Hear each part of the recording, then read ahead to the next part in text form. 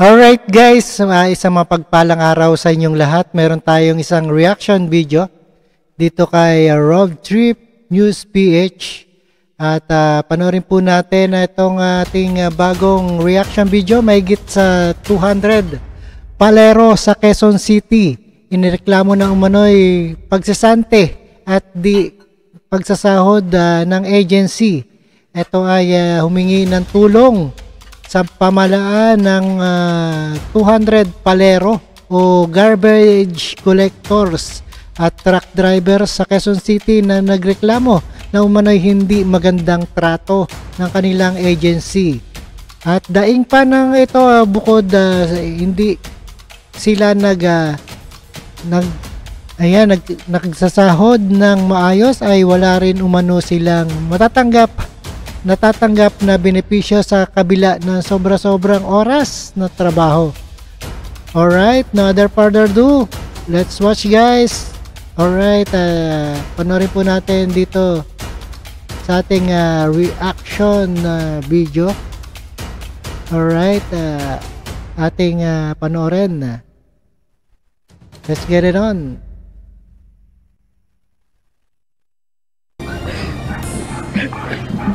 Kasi di po talaga nagagalaw yan, sir. Hindi lang maangat to. Masakit po talaga yan. Kalma lang. Ipapalawakan ko, bayaran po yung asawa ko. Kasi binaliwala po talaga nila yan. Maglimang, tao, maglimang buwan na po. Wala. Wala silang binibigay. Napahagulgul na lamang si Randy. Garbage truck driver nang maalala ang kanyang sinapit habang nangongolekta sila ng basura sa Quezon City, limang buwan na ang nakalilipas. Na-stroke kasi ito habang nagmamaneho ng truck ng basura. Agad naman itong naitakbo sa hospital at naagapan. Pero hindi na niya maigalaw ang kanyang kaliwang kamay. Ang masakit pa para sa kanilang mag-asawa hanggang ngayon, wala pa siyang natatanggap na benepisyo mula sa pinagtatrabaho ang agency na International Swims Incorporated. Sinabi ko po sa kanila, ang sabi nila, ang sagot lang daw, ang babayaran na po nila yung nagastos namin. Yung Pagka ano niya, sabi ko, paano po yan, ma'am, na paano po yung panggastos namin, may mga anak kami.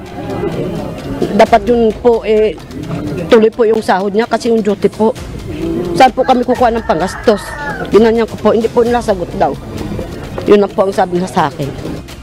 Si Jmar naman, nawala ng balanse habang nasa itaas ng garbage truck kaya nalaglag at nabali ang isang paa.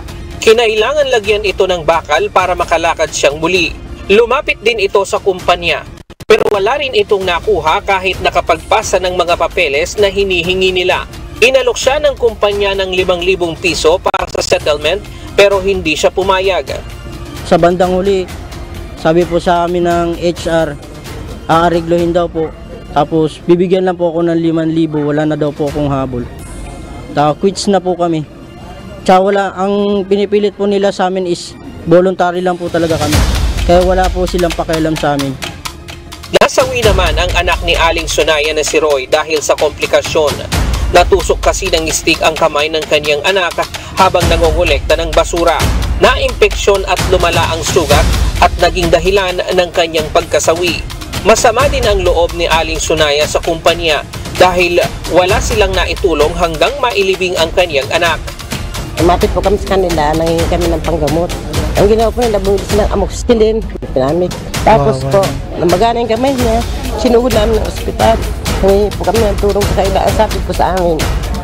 Sana bigyan ng uh, maagarang lunas o sa mga naulilang uh, ayan, uh, isang uh, garbage collectors at suporta ng gobyerno yan.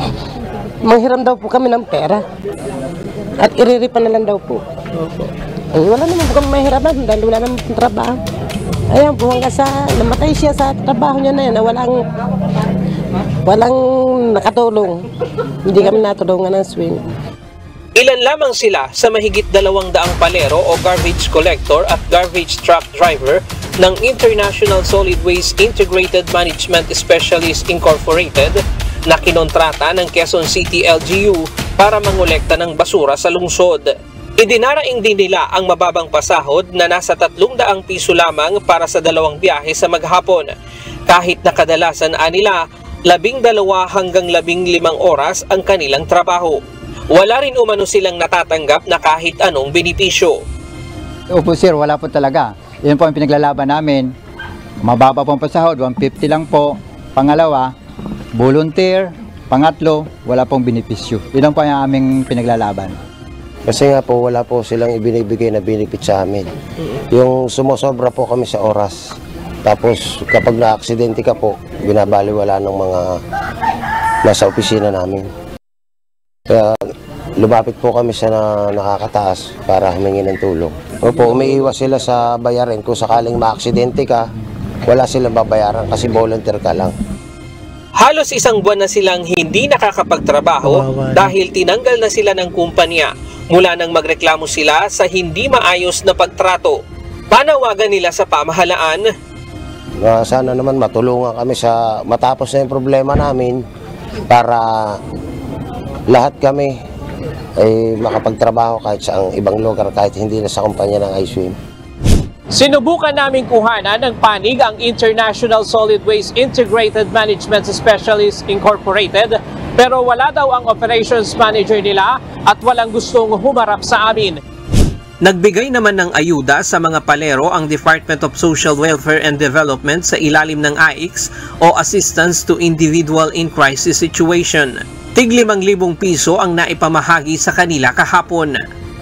Although uh, beyond po sa amin yung uh, siguro yung resolution at ibang uh, sabihin na natin pang mga intervention when it comes to their labor dispute but then tayo po rito sa utos po ng ating kalihim Secretary Rex Gatchalian we can initially uh, give them assistance yung stopgap mechanism natin itong assistance to individuals in crisis situation. Nang sa ganon ano po kahit pa paano maibsan yung pinagdaraanan nila kasi I believe yung, yung iba sa kanila ay mga nagkakasakit na yung iba sa kanila ay hindi na yata sumisweldo. So kahit pa paano po, ah, matustusan natin yung kanilang pangangailangan sa pangaraw-araw. Ayan, saludo ko sa iyo Ryan. Lacanlale, U Alright, napanood po natin at napakinggan na dito sa ating ah, mga ayan na isang ah, palero or garbage collector na hindi pinapasahod at na hindi nagbibigyan ng tamang benepisyo ang kanilang ah, agency sa kanilang agency at ah, daing ng mga ito na bukod hindi sila nagpapasahod ah, ng maayos ay wala rin umano silang natatanggap na benepisyo sa kanilang sobra-sobrang ah, oras sa trabaho. At maraming salamat sa panonood at pakikinig dito kay Rob Trip News PH. And see you again sa ating ah, the next ah, reaction video. And don't forget to subscribe the channel Rob Trip. Thank you guys.